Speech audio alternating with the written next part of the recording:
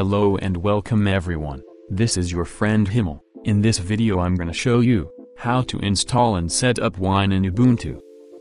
Wine is a compatibility layer, capable of running Windows applications on several operating systems, such as Linux, Mac OS, and BSD. First of all, open browser and search Wine. Click on download and choose Ubuntu. All the instructions for download, and the commands for installation are given here. Copy the commands one by one, and run it on terminal.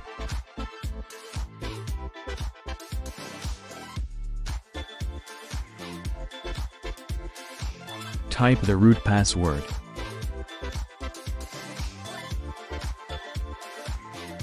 Copy and run second command, which is for adding wine repository. Please don't forget to subscribe, it means a lot to me.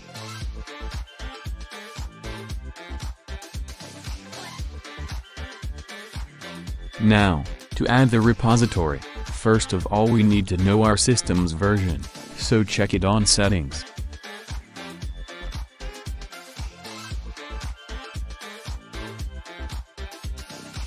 Now, copy the command according to your system's version, and run it on terminal.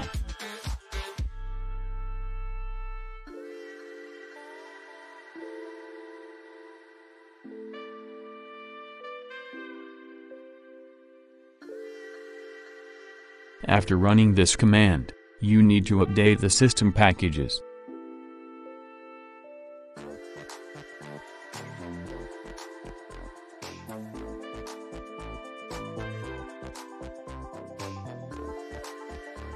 You can see there are three different packages of wine, since the first one is stable version, so install it.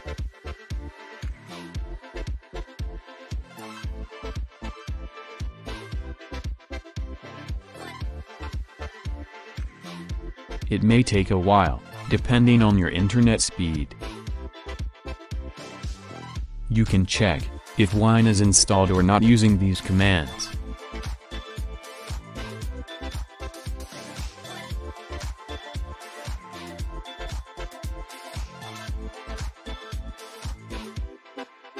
Wine is installed inside Home in a hidden folder, and it has created a virtual C drive to install Windows programs.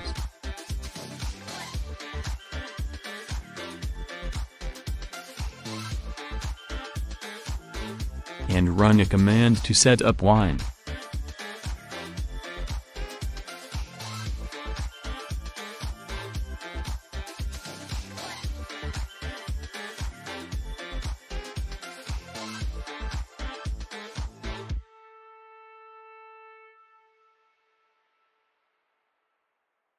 So this is the wine interface, you don't need to do anything here, just close it for now, we are all set to use it. Let me show you by installing a Windows program, I'm gonna install WinRAR.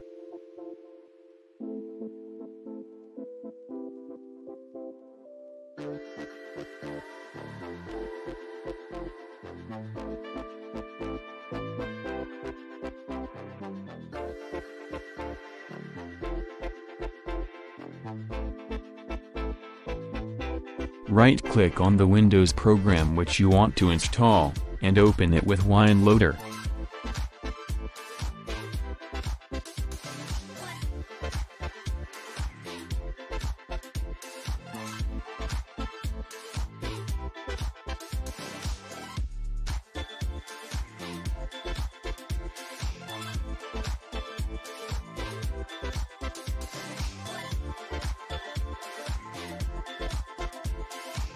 You can see Windows program is working perfectly, on Linux with Wine, so guys thanks for watching, please don't forget to subscribe, it means a lot to me.